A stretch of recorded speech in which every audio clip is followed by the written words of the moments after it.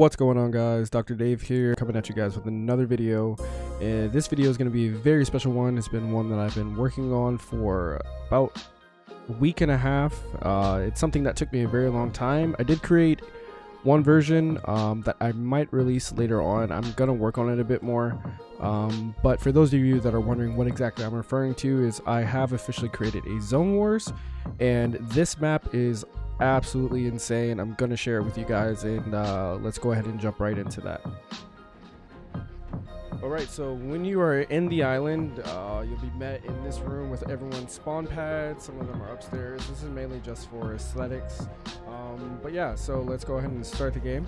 Once you've gotten into the game, this is an automatic spawner, so please do not respawn.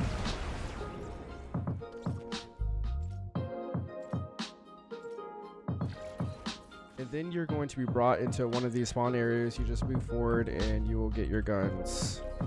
Uh, turns out my loadout is insane. But anyway, uh, what you do, you'll get your stuff. And this is the map. So you will have a moving zone right here that takes for, I believe, uh, 10, then 20, and then basically death. Uh, and then behind us, you will see that there is a zone closing in. So that is kind of what's different about this map, along with a lot of others different maps. I know Enigma and Donny C released one with this moving zone like this. Um, but what I find different about this one is that this one has varying levels of height. So once you get out of here, everyone, you have these people on high ground, and then these guys have the opportunity, if they want to play low ground, there's low ground down here, and then they don't get punished by that because there's a launch pad right here. Uh, there's also another launch pad over here, just in case uh, some people try to contest height. Um, this makes it much harder um, and much better for people who do want to contest height.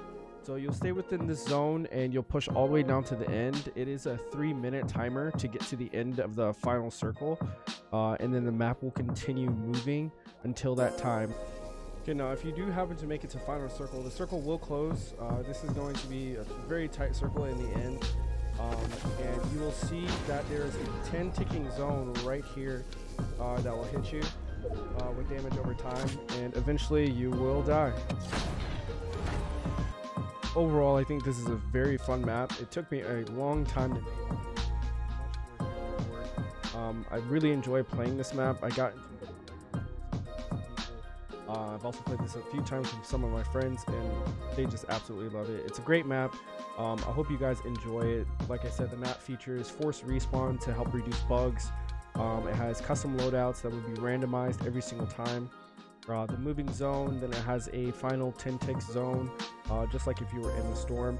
There's a bug in creative that if you do get killed by the storm, it can crash like the creative server. So if you notice you're gonna die to the storm, it's better to just respawn and take the L, or um, try not to die to the storm. Um, it's basically only if the storm eliminates you, not if like a player gets the if a player gets the kill, then you're fine. But if the storm eliminates you, then it can be like a problem. Um, but that timer did get increased to a minute, so it's much harder. But like I said, this is good for in-game practice. Uh, it's really great for anyone who's trying to get into competitive Fortnite. Would highly suggest trying it out and let me know what you guys think down in the comment section below of any sort of bugs or changes that need to be made to the map. I will post the code down in the description just in case I need to update the code later on. Um, and I really do appreciate you guys and I will catch you guys later.